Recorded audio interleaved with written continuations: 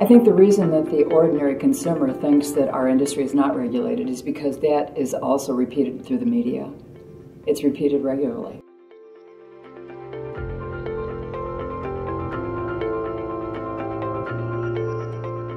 We are not an unregulated industry, and actually, we agree with a lot of the regulations that we follow. So, in advocacy, we want to ensure that Congress knows this.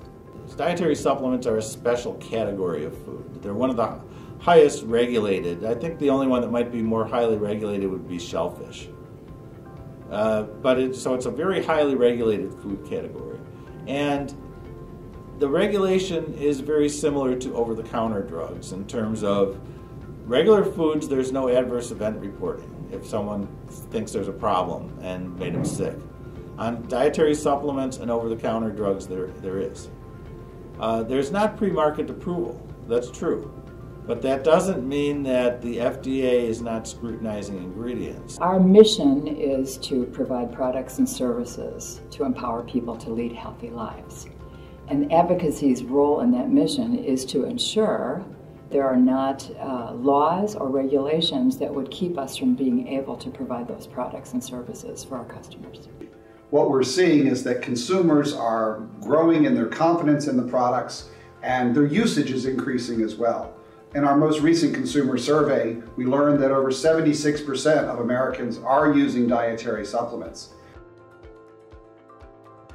The national products industry is making products that people want. It is the products are safe. The public really wants them and the government cannot tell them what they can make and what they can't make. However, the FDA has full authority to remove products that are unsafe. So if someone does put something on the market, it's not what it says it is or whatever, the FDA can pull it off. We have consistently advocated for more funds for the federal government to enforce the laws so that we don't need new laws, we need new funding to enforce the laws we have. When I think of exemplary companies in this industry, I think of Now Foods, particularly when it comes to the advocacy work we do on behalf of the industry.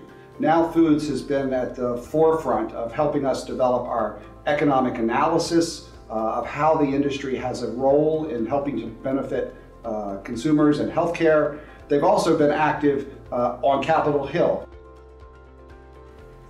The dietary supplement industry has come a long way in the last 25 years since the passage of the Dietary Supplement Health and Education Act. But there are always external threats to the industry people who would like to pass legislation to restrict access to these products, to make it harder to manufacture the products, and deny consumers truthful information about what dietary supplements do.